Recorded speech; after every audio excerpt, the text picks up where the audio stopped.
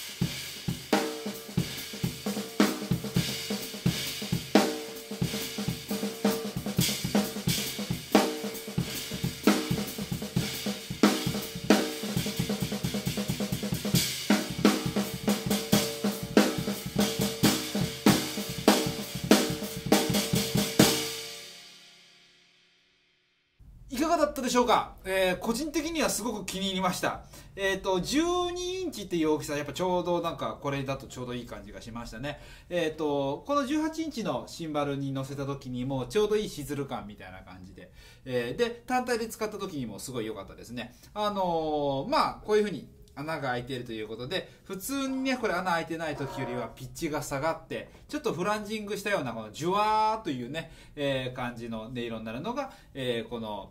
なんて穴開きのシンバルの特徴ですけれども、えー、と12インチの割には価格的にも割と手に入りやすい価格で、えーハンマリングもねいろいろちょっとこの位置的にもいろいろ工夫してあるんだなっていう感じで、えーすごい、え好印象なシンバルでした。